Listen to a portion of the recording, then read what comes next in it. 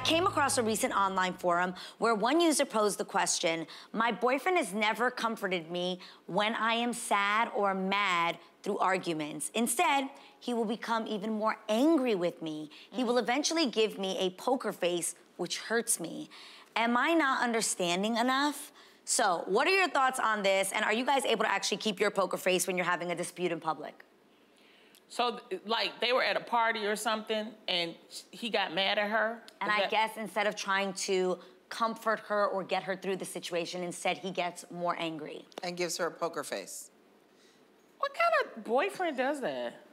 Who? Who? who I, I, think this is proof of like if you don't know how to control your anger. Obviously, there's so many situations in life that you get into where um, you know, it's an uncomfortable. I mean, guys, we argue with our spouses or sure, your kids. Yeah, I was gonna or, say I learned how to fake it from my mom. Like you know, where you get the side eye because you yes. know you've done something wrong in public, but then you gotta wait to get home yes. mm -hmm. to get the punishment. In so church, all in the time. church, we exactly, exactly. But if it's my boyfriend I keep it cute and classy. Right. Because first of all, yeah. you know, I don't want people thinking, you know how people already think. When yeah. you're in an interracial relationship, people, they just be looking for something. Right, that's true. and it's like, it's not even like that. It ain't even that serious, y'all. trouble in paradise. Yeah, yeah so I just be like this, James. Mm -hmm. Mm -hmm. But we get home. I feel like what is the context of the conversation that you can't compose yourself? Like, do you think there are scenarios where it's like I would not be able to? Obviously, if I think. If you found out he was cheating, correct. I think anything Ooh. that's explosive correct. like that, you may not be able to contain yourself. But anything else, I would say, babe, let's talk about it at home. Like, well, I don't want yeah. to embarrass you, and I don't want you to embarrass me. And I think that's yeah. the way. But one time, I was at the airport, right, mm -hmm. and I was minding my own business, uh -huh. and this lady was on the phone, and she was going off because she was talking to her husband, and the husband took the other woman on a trip.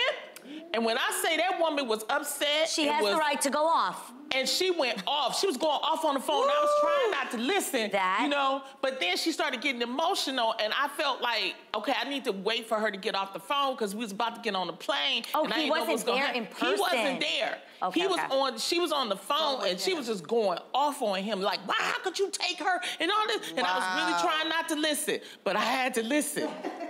But that's a time where you can't control yourself. I, again, I do get that part of like, if this is like a cheating explosion explosive moment, yeah. then I get that. But other than that, if you're finding that you're having little right.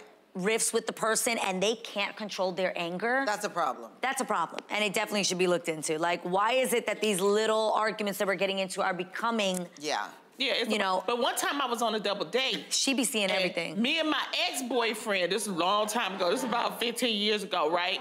So we sitting there on a double date and he was there, his and it's somehow we got on something political. Okay. And we just were not agreeing with it. And you could tell we were like arguing with each other, but not yeah. yelling. But it was like, so what about this? Well, what about this? And the poor little couple here was just looking at us, and I felt so bad. Ugh. And that's what made me realize, you know what? especially if you're on a double date. Yeah, don't do that. Don't do it. Don't yes, do don't you do not want to be that couple that nobody wants to go on a double Everybody date felt, with. Yeah. Exactly. That's the worst.